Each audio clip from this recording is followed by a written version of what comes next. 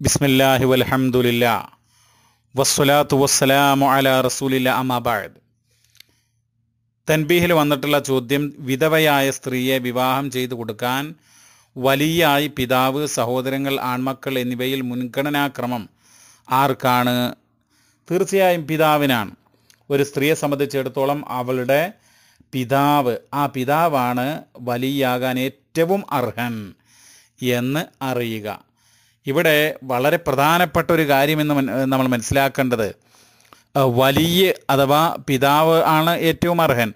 അങ്ങനെയുള്ള വലിയന്റെ അനുവാദമില്ലാതെ വിവാഹം ശരിയാവുകയില്ല. അത് നബിസല്ലാഹു അലൈ വസല്ലമ വ്യക്തമായി പറഞ്ഞിട്ടുണ്ട്. ലാ നിക്കാഹ ഇല്ലാ ബി വലിയിൻ മഹാനായിട്ടുള്ള ഇമാം തിർമുദി റഹ്മഹുല്ല അദ്ദേഹത്തിന്റെ സുനനിൽ ആയിരത്തി ഒരുന്നൂറ്റി ഒന്നാം നമ്പറായിട്ട് കൊടുക്കുന്ന വചനമാണ്. ഇമാം അബൂദാവൂദ് അദ്ദേഹത്തിന്റെ സുനനിൽ രണ്ടായിരത്തി എൺപത്തി അഞ്ച് ഇമാം ഇബിൻ മാജ അദ്ദേഹത്തിന്റെ സുനനിൽ ആയിരത്തി എണ്ണൂറ്റി എൺപത്തി ഒന്ന് നമ്പർ ആയിട്ട് കൊടുക്കുന്നുണ്ട്.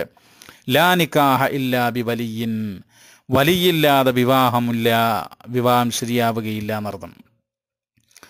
മറ്റൊരു ഹദീസ് കാണാമന് ആയിഷത്ത് അള്ളാഹു തആല അൻഹാ കാലത്ത് കാല റസൂലുള്ളാഹി സ്വല്ലല്ലാഹു അലൈഹി വസല്ലം ആയിഷ അലി അള്ളാഹു താലാന് നിവേദനം ചെയ്യുകയാണ് അള്ളാഹാന്റെ റസൂൽ പറഞ്ഞിരിക്കുന്നു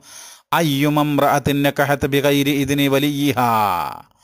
അതായത് ഏതൊരു സ്ത്രീ ആവട്ടെ അവൾ വലിയന്റെ അനുവാദമില്ലാതെ തന്റെ വലിയന്റെ അനുവാദമില്ലാതെ വിവാഹം കഴിച്ചാൽ ഫനിക്കാഹുഹാ ബാത്തുൽ ഫനിക്കാഹുഹാ ബാത്തുൽ ഫനിക്കാഹുഹാ ബാത്തുൽ അവളുടെ ആ വിവാഹം ബാത്തുലാണ്.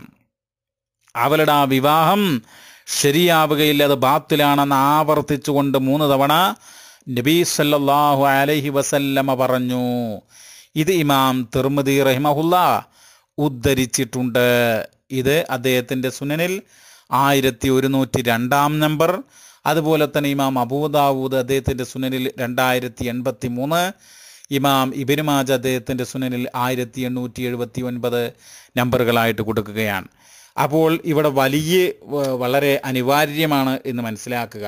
ഒരു സ്ത്രീയെ സംബന്ധിച്ചിടത്തോളം അവളുടെ വിവാഹത്തിന് വലിയ അനിവാര്യമാണ്. വലിയ എന്ന് പറയുമ്പോൾ ഒന്നാമതായിട്ട് അവളുടെ പിതാവാണ്. പിതാവ് കഴിഞ്ഞാൽ പിന്നെ പിതാവിന്റെ പിതാവ് അങ്ങനെ മുകളിലോട്ട്. അത് കഴിഞ്ഞാൽ പിന്നെ മക്കൾ. അവളുടെ മക്കൾ അവൾ അവരാണ് പിന്നെ വലിയ. ഈ മക്കൾ കഴിഞ്ഞാൽ പിന്നെ സുമ്മൽ ഇഹ്വത്തുൽ അഷിഖ തന്റെ ഉമ്മയും ഉപ്പയും ഒത്തിട്ടുള്ള സഹോദരങ്ങൾ.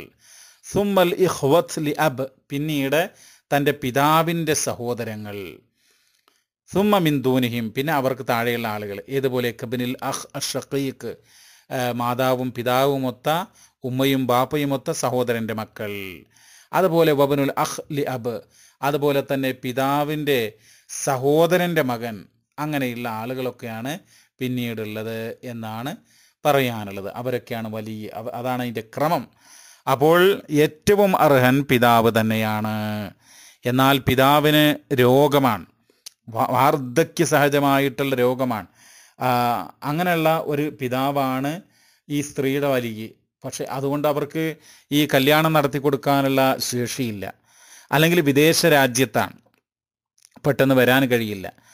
അപ്പോൾ അങ്ങനെയൊക്കെ ആകുമ്പോൾ ആ, പിത അവളുടെ പിതാവിന്റെ പിതാവ് നേരത്തെ പറഞ്ഞ പോലെ ആ ക്രമം അനുസരിച്ച് ആ വലിയനെ നമുക്ക് നിശ്ചയിക്കാവുന്നതാണ് എന്നാണ് ഉണർത്താനുള്ളത്. അള്ളാഹു ആലം വസല്ലാഹു വസല്ലമ.